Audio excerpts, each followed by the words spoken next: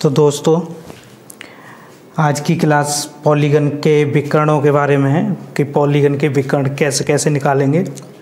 इस प्रकार के प्रश्न भी कई बार पूछे जाते हैं और बहुत अच्छा टॉपिक भी है और अक्सर C TET U P TET A L P R R V and banking sector में कभी पूछ लेते हैं और सी टेट और यू पी टेट में हंड्रेड परसेंट एक नंबर का क्वेश्चन आता ही आता है।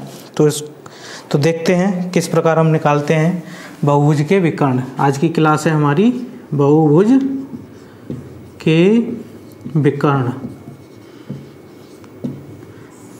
तो इसका फॉर्मूला है एन एन माइनस थ्री बट्टे दो।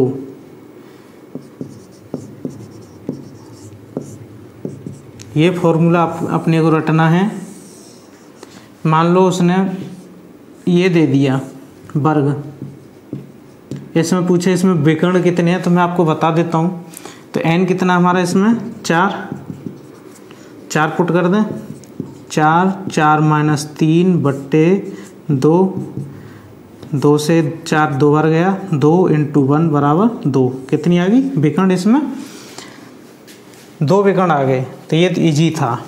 अब अगला देखते हैं। अगला क्या है कि मान लो ये उसने बोल दिया, पंचभुज बोल दिया सम पंचभुज ये हो सकता है, ये हो सकता है, हैं? ये हो सकता है। तो इसमें कितने विकर्ण बनेंगे वो हमें देखना है, ठीक है? तो वो तो कैसे निकालेंगे? एन बराबर पाँच तो पाँच इंटू पाँच माइनस तीन बट्टे दो बराबर पाँच इंटू दो बट्टे दो। एक एक बार, यानी एन विकर्ण कितने बनेंगे इसमें? पाँच। ऐसी छः आकृतियों का हो, उसका भी ऐसे ही निकाल लेंगे। तो कितने विकर्ण बनेंगे, ये तो आपको समझ में आ ही गया होगा।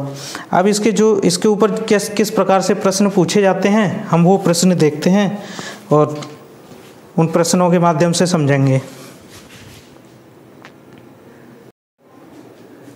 तो ये क्वेश्चन है, किसी बहुभुज के विकर्णों की संख्या चवालीस है तो बहुभुज के संख्याओं की भुजा कितनी होगी? भुजा एन बराबर पूछा है उसने। कैसे निकालेंगे? तो देखिए फॉर्मूला हमें पता होना चाहिए। N N minus three divided by two equals to विकर्ण कितने हैं? चवालीस। तो कैंची की गुणा कर देंगे। इस पहले इसकी कर लो। एक से कोई फ़र्क नहीं पड़ेगा। N square three N equals to अट्ठासी। चवालीस दूनी अट्ठासी। N square minus three N minus eighty अट्ठासी।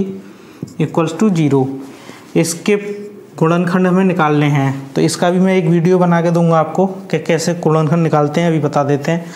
इसके साथ में एन के साथ में कितनी संख्या है? एक। यहाँ कितनी है?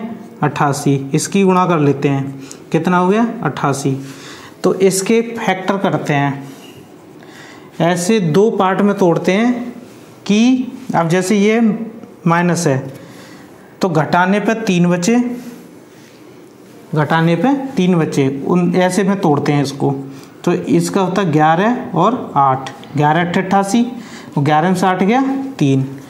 तो एन स्क्वेयर माइनस ग्यारह एन माइनस प्लस आठ एन माइनस अट्ठासी।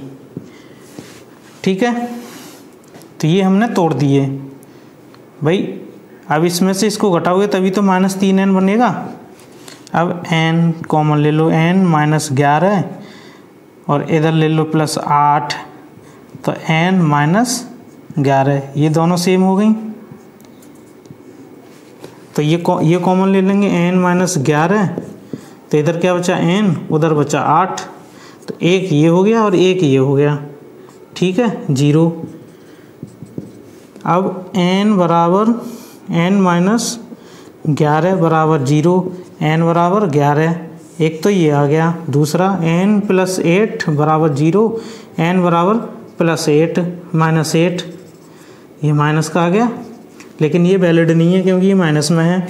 तो प्लस वाली को हम ले लेंगे। तो हमारे विकर्णों की संख्या कितनी है? भुजाओं की संख्या। तो उसमें भुजाओं की संख्या कितनी है हमारी? ग्यारह। ये हमारा आंसर है। तो आई होप कि आपको समझ में आ गया होगा और पॉलीगन मेरे हिसाब से लगभग कंप्लीट हो गया। और कोई अगर आपको डाउट है तो कमेंट बॉक्स में कमेंट करें। कोई क्वेश्चन है आपसे नहीं हो पा रहा है कमेंट बॉक्स में दें तो मैं सॉल्व करके आपको दूँगा। तो मिलते हैं अगले वीडियो में। तब तक के लिए नमस्कार।